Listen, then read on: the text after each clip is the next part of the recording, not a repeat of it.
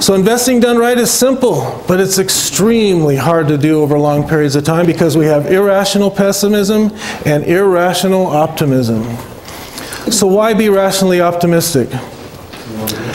Optimism is the faith that leads to achievement. We have to have faith. So this is from my experience of working with investors for decades. This is what I have found with, from investors. Optimists make for better long-term investors. Successful investors have an optimistic long-term view that doesn't go away, even during a downturn. Optimists are more likely to stay disciplined. They tend to have an enduring faith in people, business, and capital markets, providing innovation and solutions to the world's problems. So we're just beginning to solve the world's problems. I have ultimate faith in mankind to solve any problem that comes our way. We've been able to do it in the past, we'll be able to do it in the future. Check this out. Quantum computers, we're just getting started.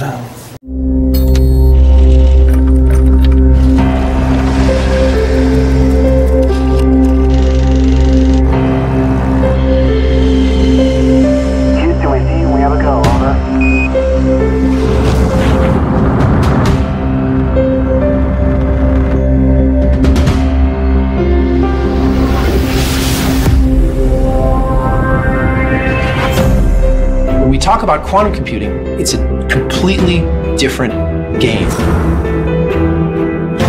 Quantum computing will enable us to solve problems that currently take longer than the lifetime of the universe in seconds, hours, or days. We completely reconceive the space in which we do computation. Quantum computing is like going from crawling to going to a different planet. It's different.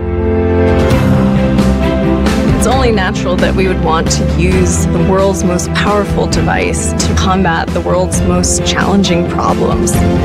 We could attack global warming. Security, What are the boundaries of machine learning? fighting diseases. The possibilities of quantum computers are endless. Microsoft has the best and the brightest working on this problem. It's really happening.